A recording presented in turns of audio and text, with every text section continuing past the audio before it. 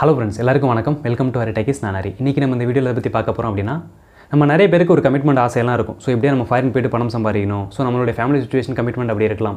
So அதுக்காக பார்த்தீங்கன்னா நிறைய பேர் நம்ம ஃபாரின் ஜாப்க்கு ட்ரை பண்ணுவோம் ஸோ இது எஸ்பெஷலி பார்த்தீங்கன்னா சிங்கப்பூர் ஜாப் பற்றி அந்த வீடியோவில் பார்க்க போகிறோம் ஸோ இந்த வீடியோ ஸ்கிப் பண்ணால் ஃபுல்லாக பாருங்கள் ஸோ அங்கே நடக்கக்கூடிய நிறைய விஷயங்கள் தெரியாத விஷயங்கள் நான் உங்களுக்கு சொல்கிறேன் இந்த வீடியோவில் ஸோ உங்களுக்கு இன்ட்ரெஸ்ட்டாக போர் அடிக்காமல் இந்த விஷயத்தை நான் உங்ககிட்ட ஷேர் பண்ணிக்க நினைக்கிறேன். ஸோ வாங்க வீடியோக்குள்ளே போகலாம். And one second welcome to ஹரிடாக்கீஸ் Singapore கண்ட்ரியில் நிறைய பேர் ஜாபுக்காக காப்பீட்டு ஒர்க் பண்ணிட்டு இருக்காங்க. உதாரணத்துக்கு நம்ம இந்தியாவிலேருந்து போகக்கூடிய மக்கள் மட்டும் கிடையாது. வேர்ல்டு ஃபுல்லாக இருக்கக்கூடிய நிறைய கண்ட்ரிலேருந்து அங்கே ஒர்க் பண்ணிட்டு இருக்காங்க. ஸோ அவங்களாம் என்னென்ன மாதிரியான ப்ராப்ளம் என்னென்ன மாதிரியான ஸ்ட்ரகிள்ஸ்லாம் ஃபேஸ் பண்ணிட்டு இருக்காங்க அப்படின்ற விஷயத்தை தான் இந்த வீடியோ மூலியமாக உங்கள்கிட்ட நான் சொல்ல போகிறேன் ஸோ உங்களுக்கு தெரிஞ்ச யூஸ்ஃபுல்லாக இருக்கும் நீங்கள் கேட்டுக்கோங்க.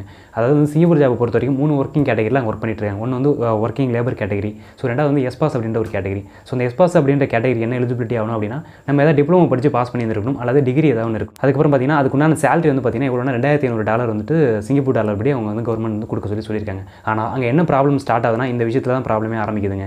ரெண்டாயிரத்தி ஐநூறு சேலரி வந்துட்டு கிடையாதான். ஸோ எல்லா கம்பெனியுமே ஒரு ஒரு கம்பெனியுமே அவங்களோட சேலரி வச்சிருப்பாங்க. உதாரணத்துக்கு ஒரு ஆயிரத்தி இரநூறு சிங்கப்பூர் டாலர் இல்லாட்டி ஒரு ஆயிரத்தி முந்நூறு சிங்கப்பூர் டாலர் இந்த மாதிரி கொடுத்துருவாங்களாம். ஸோ அப்போ கவர்மெண்ட் கணக்கு கட்டுறதுக்காக அந்த ரெண்டாயிரத்தி ஐநூறு டாலர் இருக்கு இல்லையா? ஸோ அதை வந்துட்டு ரெண்டு விதமாக கொடுக்குறாங்க. ஒன்று வந்துட்டு உங்கள் பேங்க் அக்கௌண்ட்டில் போட்டுட்டு ஸோ ஃபார் எக்ஸாம்பிள் இப்போ வந்துட்டு உங்களுக்கு ஆயிரத்தி முந்நூறு சேலரியாக அவங்க சொல்லிட்டாங்க அப்படின்னா ஸோ அந்த அதே பணத்தை அந்த உங்களுக்கு சேலரி இஷ்யூ பண்ணியிருக்காங்க இல்லையா? ஸோ அந்த பேங்க்கில் போயிட்டு நீங்கள் அந்த பணத்தை எடுத்துகிட்டு வந்துட்டு ஸோ அவங்கள்ட்ட ஆயிரத்தி முந்நூறு சேலரியை எடுத்துட்டு ஸோ பேலன்ஸ் அமௌண்ட் அவங்கள்ட்டே கொடுக்குற மாதிரி இருக்குமா? ஸோ அப்படி இல்லை அப்படின்னா ஒரு சில கம்பெனி நேரடியாகவே உங்களுக்கு ஸோ அதே அந்த ஆயிரத்தி முந்நூறு சேலரி தான் இந்த மாதிரி கொடுப்பாங்க. ஆனால் உங்களுக்கு கவர்மெண்ட்டில் கணக்கு காட்டுறது வந்து பார்த்தீங்கன்னா எஸ்பாஸோட எலிஜிபிலிட்டிக்கு ரெண்டாயிரத்தி ஐநூறு டாலர் வந்து சிங்கப்பூர் டாலர் இருக்கணுமா?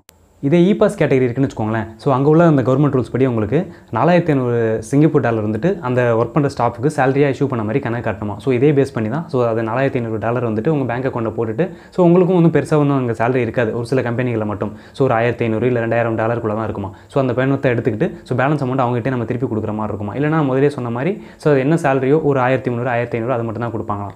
ஸோ ஆக மொத்தம் அந்த கவர்மெண்ட்டை ஹைட் பண்ணிட்டு தான் கிட்டத்தட்ட ஒரு நைன்ட்டி பர்சன்ட் கம்பெனிஸ் அங்கே இருந்துட்டு இருக்காங்க. ஸோ இந்த விஷயத்தை நான் ஏன் சொல்கிறேன் அப்படின்னா ஸோ நம்மளுக்கு நிறைய பேர் வந்து யோசிச்சுட்டு இருக்கோம் சிங்கப்பூர் போகணும் நல்லபடியாக பணம் சம்பாதிக்கணும்னு ஸோ சிங்கப்பூர் போகணும் அப்படின்னா கிட்டத்தட்ட ஒரு ஏஜென்சி மூலியமாக தான் இன்றைக்கி மேக்ஸிமம் நிறைய பேர் ரீச் ஆகி போகிறாங்க கிட்டத்தட்ட ஒரு மூன்று லட்சத்துலேருந்து அஞ்சு லட்ச ரூபா வரைக்கும் செலவாகுது. ஸோ அங்கே இந்த மாதிரியான விஷயம்லாம் நடந்துகிட்டு இருக்கு. ஸோ நீங்கள் யாராவது போகணும்னு நினச்சிங்க அப்படின்னா ஸோ இந்த மாதிரியான விஷயம் தெரிஞ்சுக்கிட்டு ஸோ எந்த ஒரு ஏஜென்சி மூலியமாக போகிறதோ போகாமல் இருக்கிறதும் உங்கள் விருப்பம். ஸோ இந்த மாதிரியான ப்ராப்ளம் அங்கே இருக்குது ஸ்ட்ரகிள்ஸ் இருக்குன்னு ஃபேஸ் பண்ணிக்கிட்டு ஸோ நீங்கள் சூஸ் பண்ணுற கம்பெனிஸில் கரெக்டாக கம்யூனிகேஷன் பண்ணிவிட்டு அங்கே நீங்கள் போகக்கூடிய விசா கேட்டகரிக்கு உண்டான ப்ராப்பர் சேலரி உங்களுக்கு ரிசீவ் ஆகுதா அப்படின்ற மாதிரியான விஷயம் தெரிஞ்சுக்கிட்டு போங்க.